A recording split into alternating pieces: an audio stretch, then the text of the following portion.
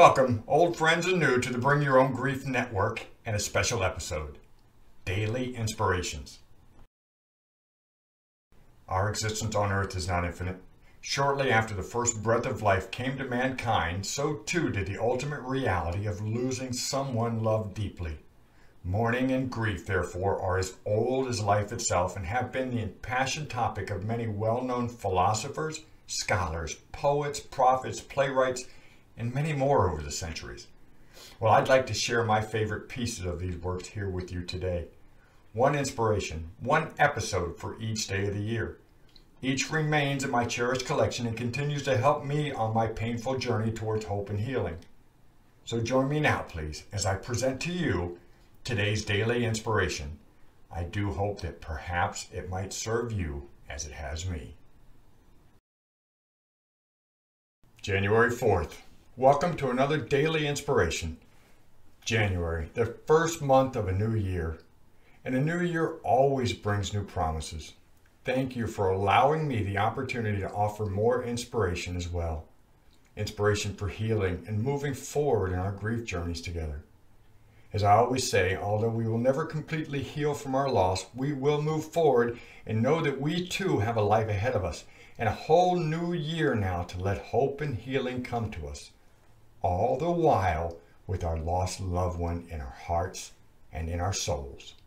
Now, today's daily inspiration comes from a well renowned and very followed 13th century Persian poet, scholar, and theologian, Jalal ad-Din Muhammad Rumi, or better known just by Rumi, who lived from 1207 to 1273 AD. Now, Rumi gave us the following words of grief wisdom he wrote, Grief can be the garden of compassion. If you keep your heart open through everything, your pain can become your greatest ally in your life's search for love and wisdom. Now, Rumi's words, or his meaning for me, might be more difficult for those early in grief. Maybe, maybe not, since we all grieve on our own timeline. But for me early on, I didn't know what the future held. I, I lost my 16 year old son, an only child to a heart defect. A large part of my life was being a father to Jonathan. I wasn't a mean guy before his loss, but I didn't believe then that compassion was something I, I consciously aspired to. And I wasn't concerned with seeking love and wisdom after I lost him. I was feeling pains at levels I thought would never end. But as I moved down the path of healing, I met and became friends with so many others who'd experienced loss. And noticed a common characteristic with almost all of those whose loss was several years in the past. They were incredibly compassionate. They had been through the fire just as I had. And also, just like me, many had had very hard hearts early on, only to have others who'd also been through the fire reach out a hand to them and they told me how that opened their hearts back up. And it would begin to work on opening mine as well. See, I discovered that love never dies. We don't lose the unconditional love we had for the one we lost.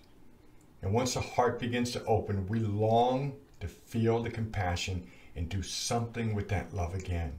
It wants to be used. It has to go somewhere. And we learn how to do that. We learn wisdom how to feel and give out our love again. The pains of grief teaches us, and it becomes our greatest ally for love and wisdom. And we learn that by giving support to others who may be walking down the same path of healing as you and I, that it feeds what Rumi taught us in the Garden of Compassion. May you always keep yours well tended. So that's today's daily inspiration and my thoughts. But you know, as well as I do, we are all as unique as snowflakes and fingerprints, aren't we? You may well take the words differently, and I ask, I welcome and would love to have you leave your unique understanding of the words we shared together in the comment section below this YouTube video. Please do.